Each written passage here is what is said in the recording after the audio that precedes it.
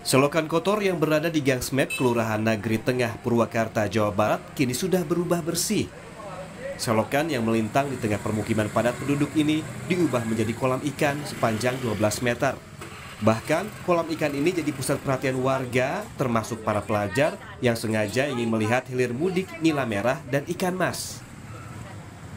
Munculnya ide memanfaatkan selokan menjadi kolam ikan karena untuk mencegah kembang biak jentik nyamuk jelang musim penghujan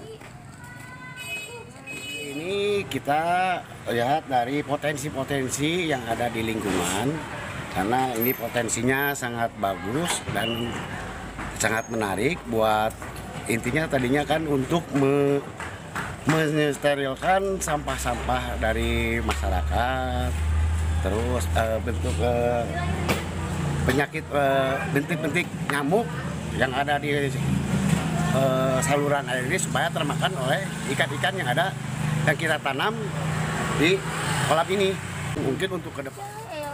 Selain setiap hari terus dibersihkan, menurut rencana warga juga akan menambahkan panjang selokan kolam ikan ini karena selain untuk kebersihan lingkungan juga bisa menjadi tempat rekreasi bagi warga sekitar. Henry Irawan, Kompas TV, Purwakarta, Jawa Barat.